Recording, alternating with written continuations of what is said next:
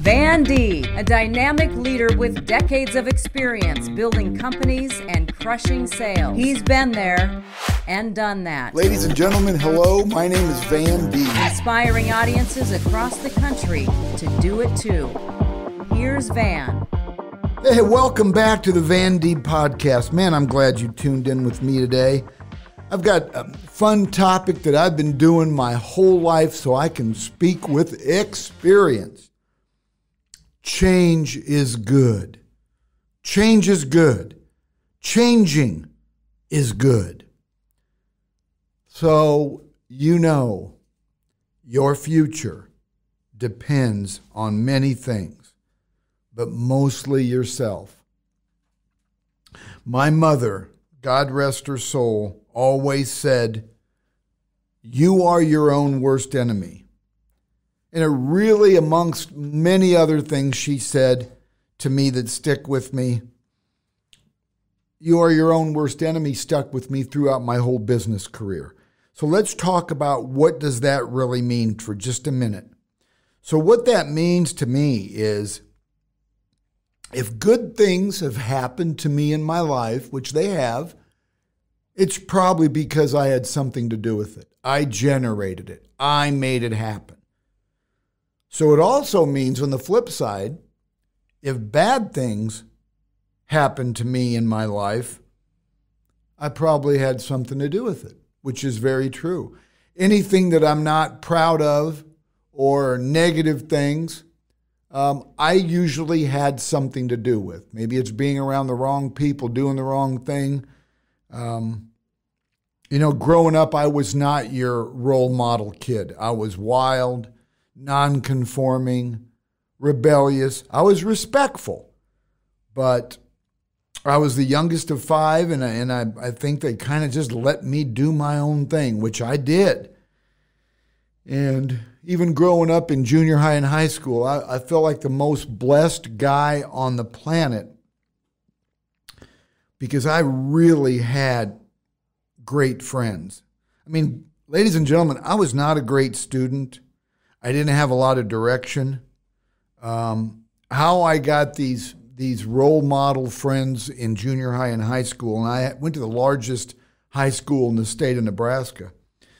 Um, I had friends that everybody wanted to hang out with, and I was lucky enough to be right in the middle of it. So, change is good, right? So, my friends, a lot of them were all state basketball, all state football, all state this, all state that, academic. I was none of them. I was not a great athlete. I participated, but I was not good. I participated because they were all involved in it. I watched them be the stars. I was their biggest cheerleader. And then one day in high school, at the end of my high at end of high school, I decided I want I want to make a change with who I am. I want to be an athlete. I want to be good like all my buddies have been growing up. So I decided to start running sprints. I decided to start lifting weights. I made all these changes in my life. And I decided, now, change to me and transformation are the same thing. In, in my definition, change and transformation are the same thing.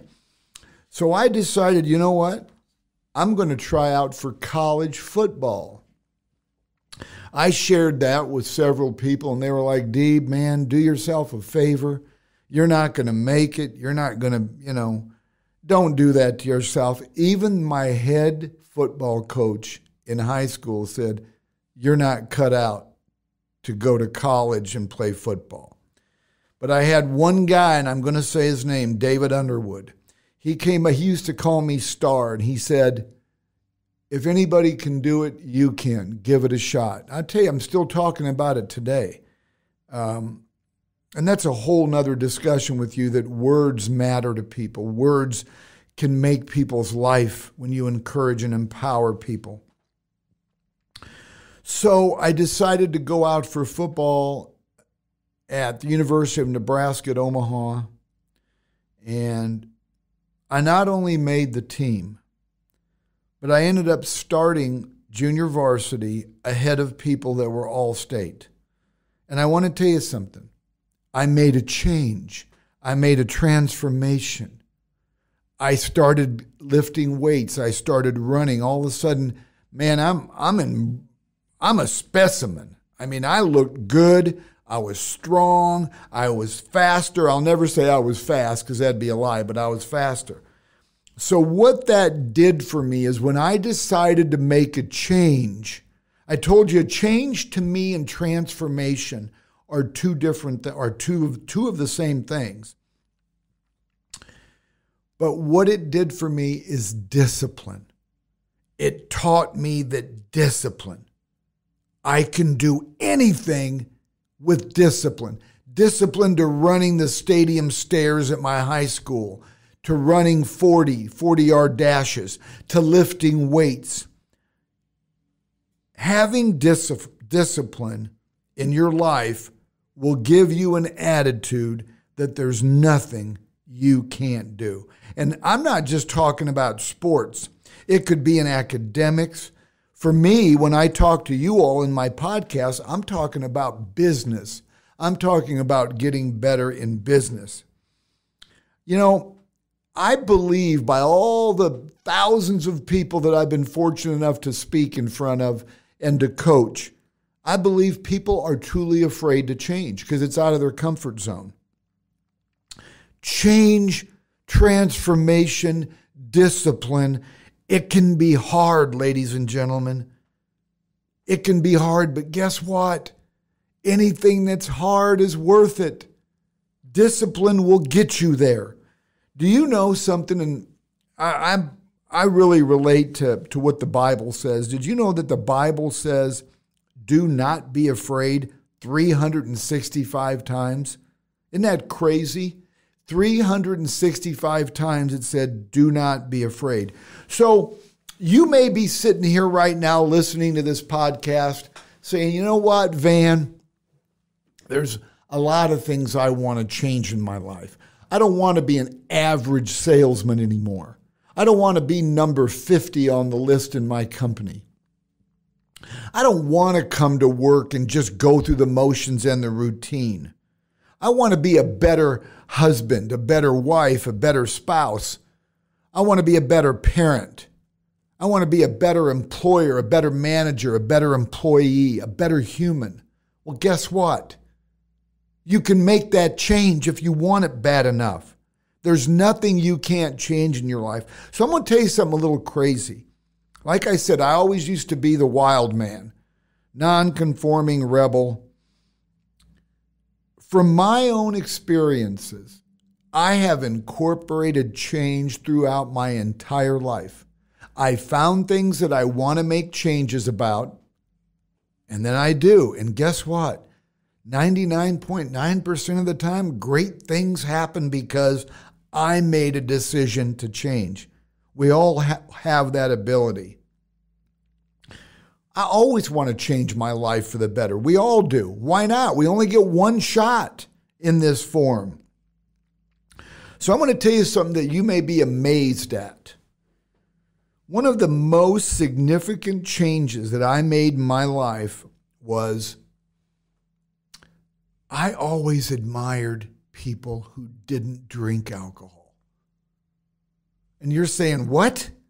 Why would you admire people that didn't drink alcohol? And I and my answer to you is because it was probably a challenge for them to be in a crowd where everybody else is drinking, be at a party, be at a tailgate, be at a bar, be somewhere at a social gathering where everybody's drinking and they're not. And I want to tell you something.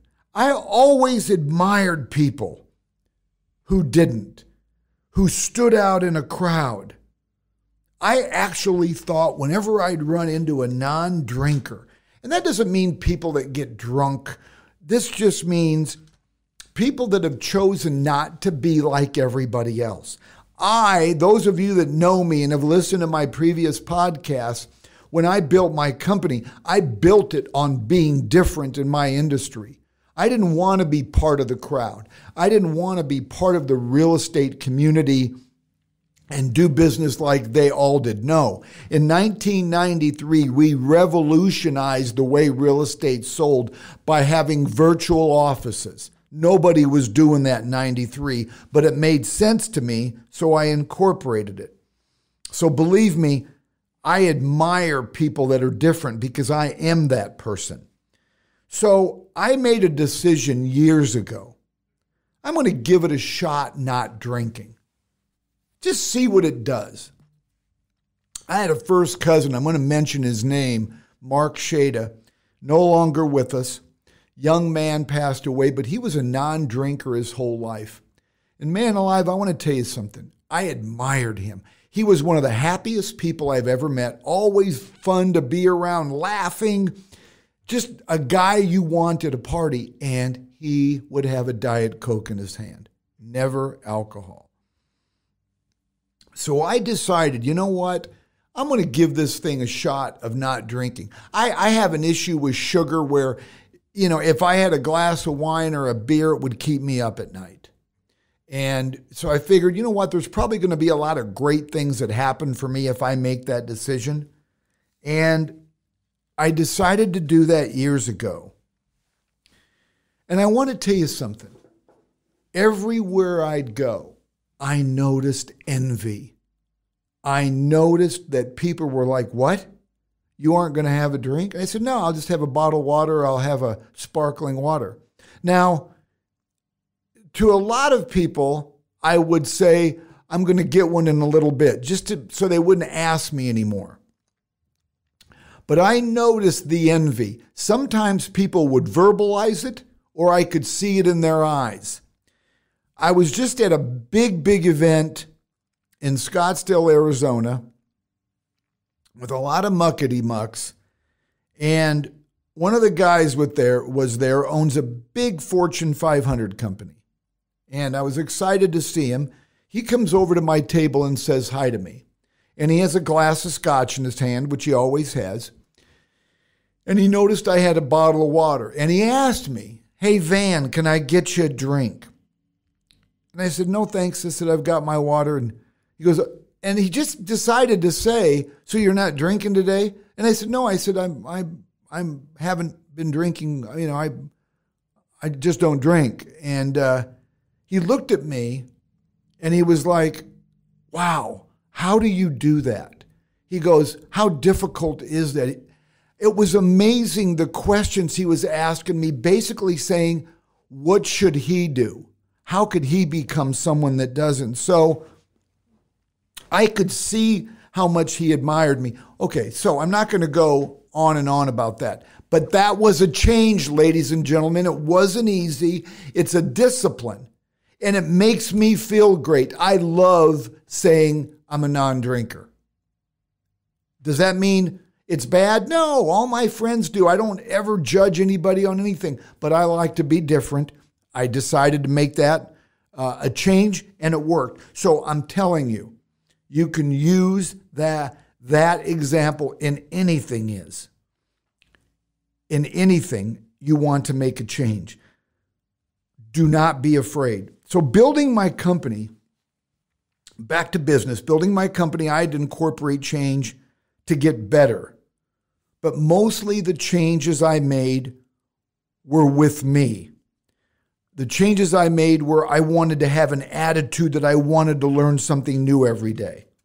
I wanted to learn, I wanted to go to work every day and try to learn something new to get better. That was a change for me because before, oh, I know it all. I've been in real estate for a long time and I know everything. I decided to make that decision that I wanted to change my attitude and start really opening myself up and trying to learn more. Change sometimes takes time. Just remember that. And I want to tell you something else that's non business my inherited struggle. Now, when I say inherited struggle, you know it was a family issue. I'm the youngest of five, and I grew up around a lot of people that were critical and judgmental. That doesn't mean they weren't wonderful people. It just meant that they were critical and judgmental of others. I never wanted to be that guy. So I decided, I mean, for a long time I joined in until I got a little older. I realized I don't want to be that person that's critical and judgmental of others. I had to make a change. I had to make a change in myself that says, I'm not going to be that person to be critical and judgmental.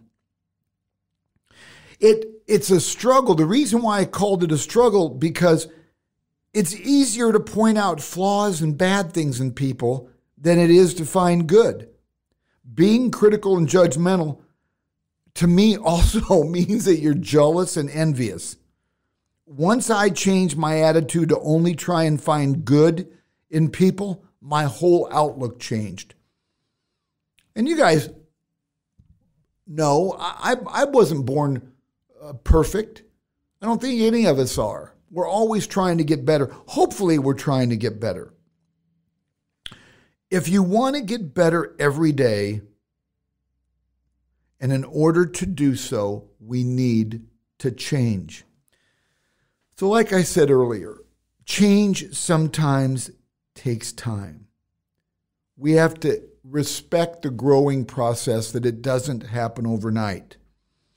You guys have probably heard this story, but if you haven't heard it, I want you to listen to it. I didn't make this up.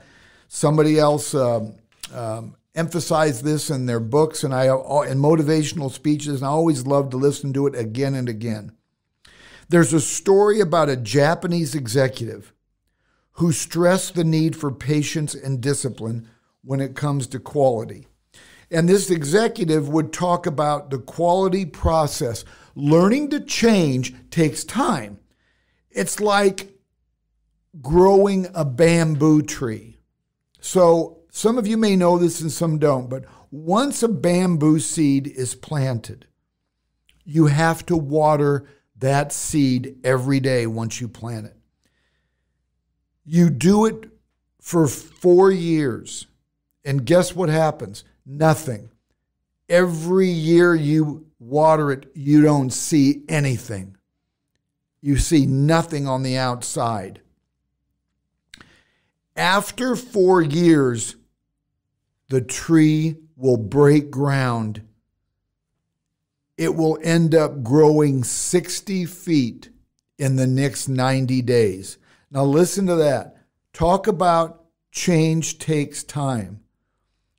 This bamboo tree, you watered it for four years and nothing happened. Then all of a sudden it grew 60 feet in 90 days. Change takes time. So in this case, you measured the results of being patient with change.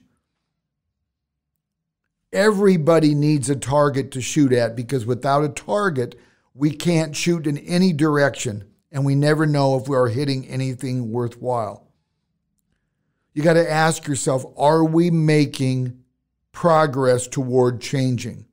And I believe that we have to measure our change. Every day, ask yourself Am I doing anything to help me make the change I want to make in my life?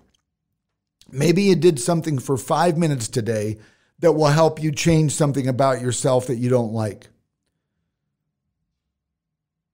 You, you, you are the only person that can hold yourself accountable. Do you remember what I said my mom used to say to me? You are your own worst enemy? Well, that meaning to me also means I have to hold myself accountable. If I don't hold myself accountable on making changes in my life and being patient about changing, who's going to? If you truly want to change your life, you have to take baby steps every day, not just once in a while, every day. Why? Because change is good.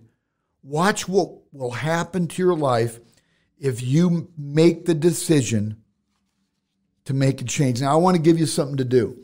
If you truly have things in your life you want to change, I would love it if you got a pen and paper and maybe you, you, you listen to this podcast again. I didn't say get your iPad or your phone. I really want you to write this down. I want you to use an old fashioned pad and an old fashioned pen and just write at the top one thing you want to change about yourself. Just do this and then close your eyes and visualize what your life will look like once you make that change. Maybe when I told you that I decided I didn't want to drink, maybe that hit home with you. If that is, write it down. Look at how your life will change if you don't anymore.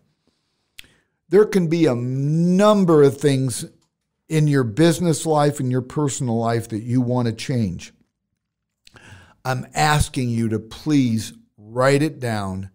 And then underneath, once you write down what you want to change, start writing remedies and solutions of what you want to do tomorrow to help see that change become a reality. It doesn't have to be something very big, it can be very small.